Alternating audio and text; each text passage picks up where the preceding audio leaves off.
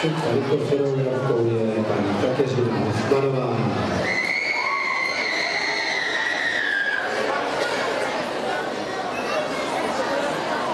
中段走。